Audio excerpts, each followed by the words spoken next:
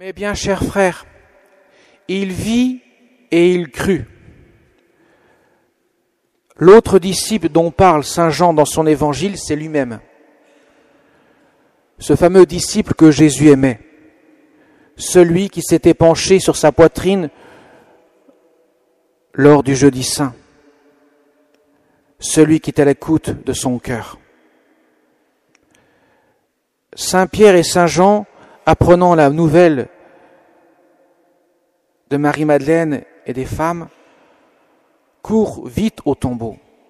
Mais Saint Jean arrive le premier, il est plus jeune. Mais il laisse la primauté à Pierre. Car c'est Pierre, c'est sur Pierre que Dieu édifie son Église. Pierre regarde, il constate les faits, il voit le linge rouler, mais il n'en tire aucune conclusion. Le tombeau est vide. Saint Jean, lui, c'est autre chose.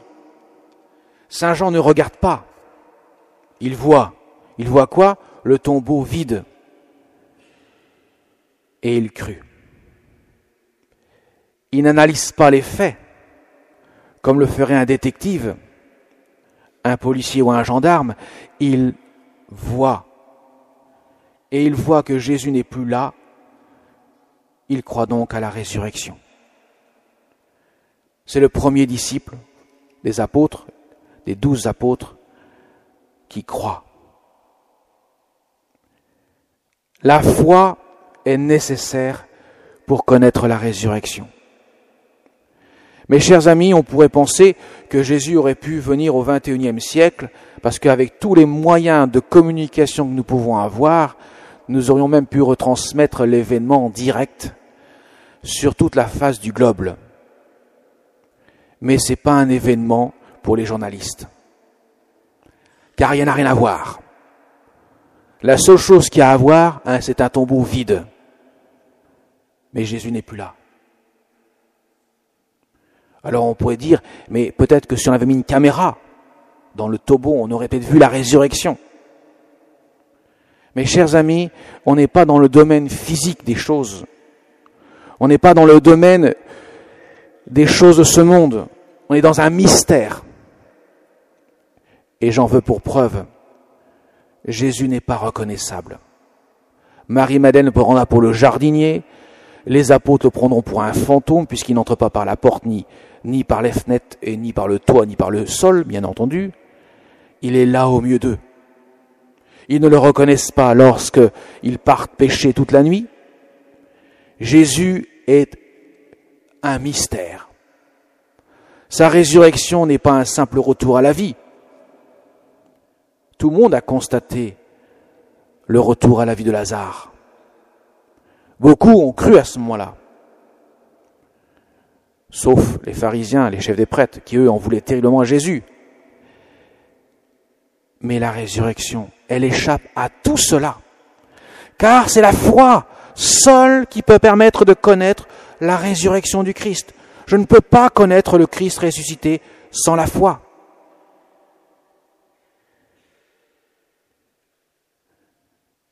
Et nous verrons Thomas dimanche prochain. Thomas dira mon Seigneur et mon Dieu. Mais le dira une fois qu'il aura vu seulement le corps transpercé de Jésus vivant. Mais en aucun cas il aura vu Dieu. La résurrection, ce n'est pas un simple retour à la vie, c'est une victoire définitive sur la mort. Jésus ne peut plus mourir. Il n'est plus, pourrait-on dire, dépendant des lois de ce monde il n'a plus besoin de prendre le train, l'avion pour se déplacer. Il est là au milieu d'eux, sans frapper à la porte. Il n'a même pas besoin de manger. Il mangera un peu de poisson devant eux, puisqu'il pense le voir un fantôme. Il faut bien qu'il voit que ce n'est pas un fantôme. Un fantôme ne mange pas de pain, de poisson ou de nourriture.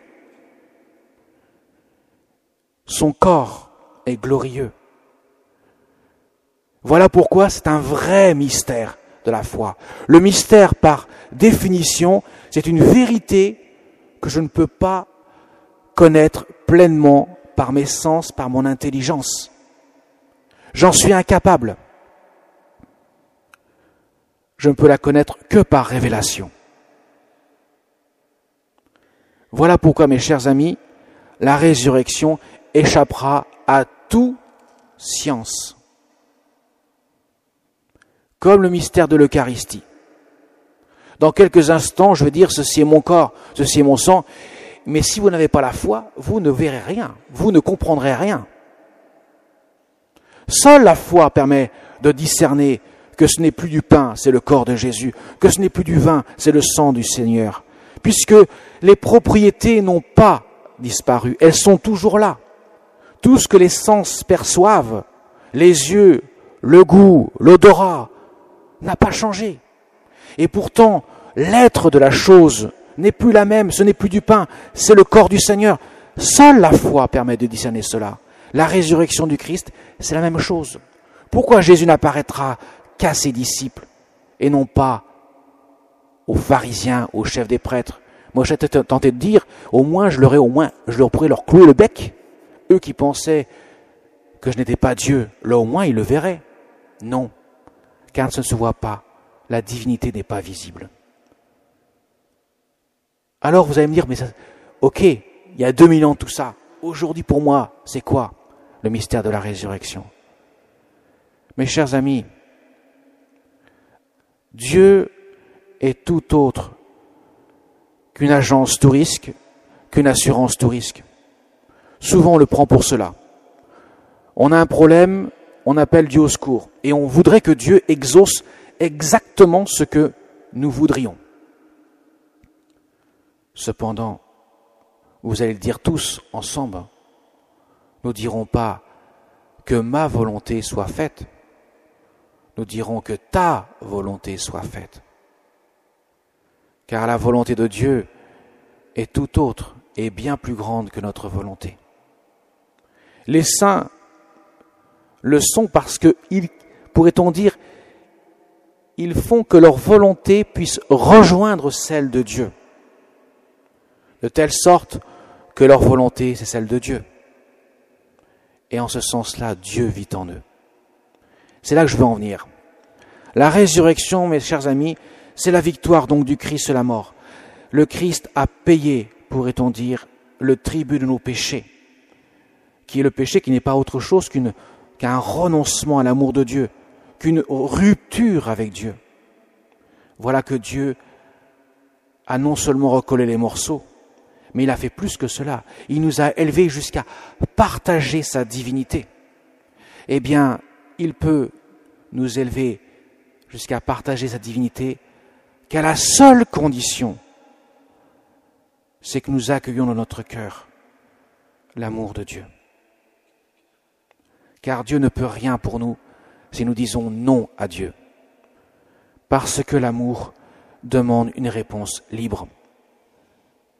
Nous ne pouvons pas contraindre quelqu'un, qui que ce soit, à aimer.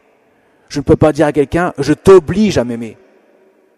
L'amour restera toujours un acte libre qui vient du fond du cœur et qui s'exprime par des actes, pas seulement par des sentiments, mais par des actes. Et ce n'est pas de dire Seigneur, Seigneur, pour entrer dans le royaume des cieux, dit Jésus il faut faire la volonté de mon Père. Ça veut dire que nous avons une intelligence, nous avons une volonté. Les deux doivent être en mouvement. C'est ce qui nous caractérise comme hommes et qui nous différencie des animaux, puisque nous avons une âme créée à l'image de Dieu et à sa ressemblance. Ça veut dire une âme dotée d'une intelligence et d'une volonté. J'ai une intelligence pour croire en Dieu et j'ai une volonté pour aimer de l'amour de Dieu. Ainsi mon cœur, laissant entrer le flot de la miséricorde, de l'amour de Dieu, Dieu peut demeurer en moi. Il peut me transformer. Il peut me lever jusqu'à lui. C'est ça la vie chrétienne. La vie chrétienne, c'est pas faire seulement des choses pour Dieu. C'est pas seulement appliquer des commandements. Si nous faisons que cela, nous n'avons pas une vie chrétienne. La vie chrétienne, c'est de laisser vivre Dieu dans mon cœur. Saint Paul l'a dit. Ce n'est plus moi qui vis, c'est le Christ qui vit en moi. C'est ça la vie chrétienne. Quand nous recevons l'Eucharistie, quand nous allons communier dans quelques instants, nous allons recevoir Dieu. Pourquoi nous allons recevoir Dieu dans notre cœur? Si ce n'est pour qu'il puisse vivre dans notre cœur Et comment peut-il vivre dans notre cœur si nous ne lui laissons pas, par notre volonté, la grâce de s'y établir? Ça veut dire, si nous ne faisons pas sa volonté, il ne pourra pas demeurer dans notre cœur. Mes chers amis, c'est ça la résurrection. La résurrection du Christ, c'est une victoire, pas seulement pour Jésus, car Jésus n'est pas ressuscité pour lui-même seulement. Il ne s'est pas fait homme pour lui-même, il s'est fait homme pour nous. Et donc il est ressuscité pour nous, pour que nous puissions à notre tour connaître la résurrection des corps. Car nous sommes des êtres incarnés, nous avons besoin de notre corps et de notre âme pour être pleinement hommes. Mais nous ne sommes pas appelés à ressusciter avec un corps subissant les lois de ce monde, conséquence du péché, mais un corps glorieux comme Jésus, qui ne connaîtra plus les limites de ce monde, mais qui sera porté par un amour sans fin et éternel. Mes chers amis, vous comprendrez ainsi que la vie éternelle, la définition de la vie éternelle, c'est pas une jouissance d'une vie terrestre sans fin, avec tous les plaisirs qu'il peut y avoir. C'est une vie de Dieu dans nous. C'est ça la vie éternelle. De telle sorte que c'est Dieu qui nous fait vivre. Et comme Dieu est pleinement heureux, personne ne peut l'être plus autant que Dieu, si ce n'est que Dieu nous donne cette vie. Et je terminerai par la Sainte Vierge Marie. Elle, son cœur était en joie. Celle qui a beaucoup souffert, qui a porté la souffrance de son Fils. Voilà que le jour de Pâques, Marie dans la joie, son cœur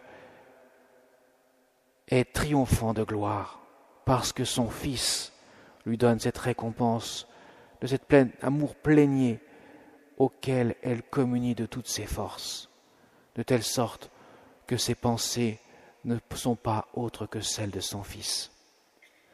Nous l'avons pour mère. Depuis le vendredi saint, nous l'avons reçue pour mère. Elle nous aide à dire oui chaque jour à Jésus. Voilà pourquoi il est nécessaire d'avoir cette mère sur la terre, qui est au ciel, pour que sur la terre nous puissions découvrir le oui de Marie, et que dans le oui de Marie nous puissions apprendre à dire oui à Dieu, car une mère éduque son enfant et lui donne toujours ce qu'il y a de meilleur pour lui. Eh bien, demandons à notre Mère du ciel de nous aider à dire oui à l'amour de Dieu, pour que Dieu demeure en nous. Amen.